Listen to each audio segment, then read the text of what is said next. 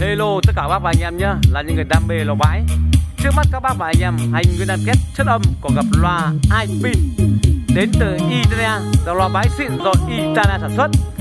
Dòng loa này sử dụng bass 30 tép kèn, Tép rất dày, Họng 44 Và bass 30 từ 19 họng 76 Nói chung một tiếng bass đánh rất lực, Đánh rất êm và sâu. Nghe bé cũng có tiếng bass Tiếng tép đánh len keng lách tách, Không chói, Giải trung ngọt.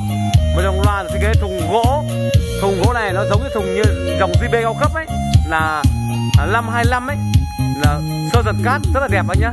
Thiết kế vuông vắn đẹp đẽ màu đen thùng gỗ chịu nước. Đấy của anh nhật sướng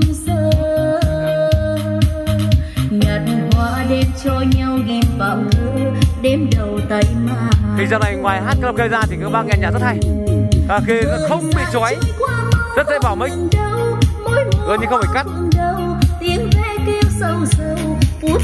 tay sầu sầu tiếng thương riêng mình biết hoặc tim trong mắt nhau. Rồi khi yêu thương đi vào tuổi xanh đất trời vui chuyện tình đôi mang tâm tư như tình thùng thiết kế thùng gỗ như tay sách trên này. Nó nhìn đây này. Một cạnh hai ba bốn năm sáu. Treo lên này. Đấy treo lên đánh vào hát rất tốt anh em nhé. Đây là bộ này. Đấy hai pin. Model là CK 12 công suất của nó là nhỏ nhất là 350W rồi chỉ 8 ohm có đẹp anh em nhé. Tôi nói mỹ mã luôn. Loa xịn. Loa xịn vào nhá. Đấy thì em phải được uh, chung đôi. Này bác nhìn này. Đấy, chung đôi loa. Thì giá nó là 10 uh, uh, 1 triệu năm trăm một đôi một trợ năm Dòng một đôi đảm bảo hát cực hay nghe nhạc cực kỳ chất anh nhá.